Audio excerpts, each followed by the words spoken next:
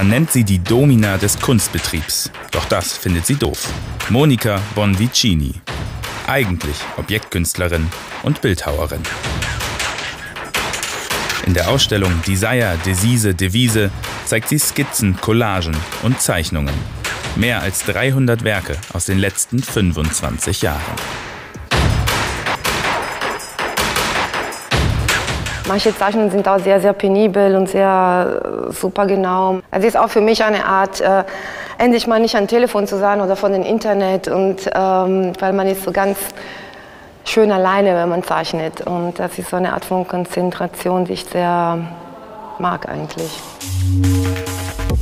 Keine Materialschlacht also. Nein, hier gibt's Papier zu sehen. Skizzen zu so bekannten Werken wie Wallfucken zum Beispiel. Eine Videoinstallation, mit der sie 1995 Aufsehen erregte und die männlich dominierte Welt der Architektur in Frage stellte.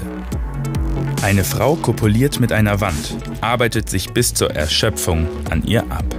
Ich hatte Bauarbeiter, die das gebaut haben und äh, als sie das Video gesehen haben, können sie sich vorstellen, was für schöne Witze sie da rumerzählt haben. Sie haben sich gegenseitig gerufen, hey, komm mal her und guck mal und so.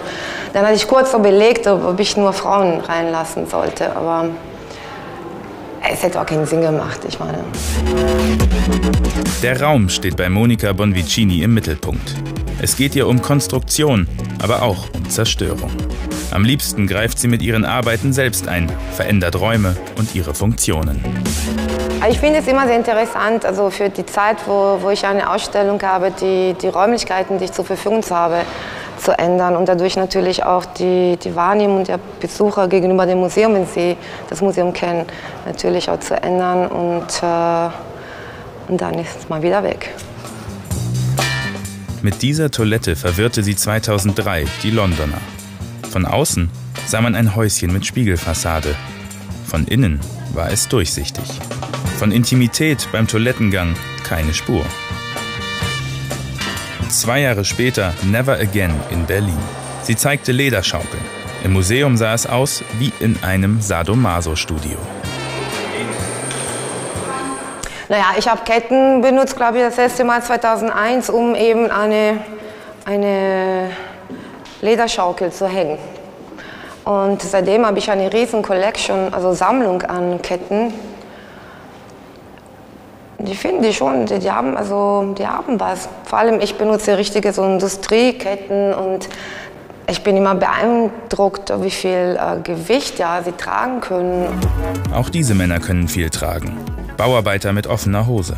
Monica Bonvicini stellt den starken Mann am Bau in Frage. Der Mann als Arbeiter, Konstrukteur und Architekt. Ein Rollenbild, das bei ihr ins Wanken kommt. Die wirken fast wie ein Klischee ja, von, von einem starken Mann, der gegen die ganze Welt kämpft. Und man weiß nicht warum, es ist alles sehr existenziell und ähm, sehr süß auch dadurch. Und man kann sich auch identifizieren. Andererseits ist es eben ja, ein Klischee. Die Ausstellung bringt einen zum Nachdenken über Strukturen, Geschlechterrollen und eine Welt, die von Männern erbaut wird. Wenn es nach Monica Bonvicini ginge, sollte man diese schleunigst ändern.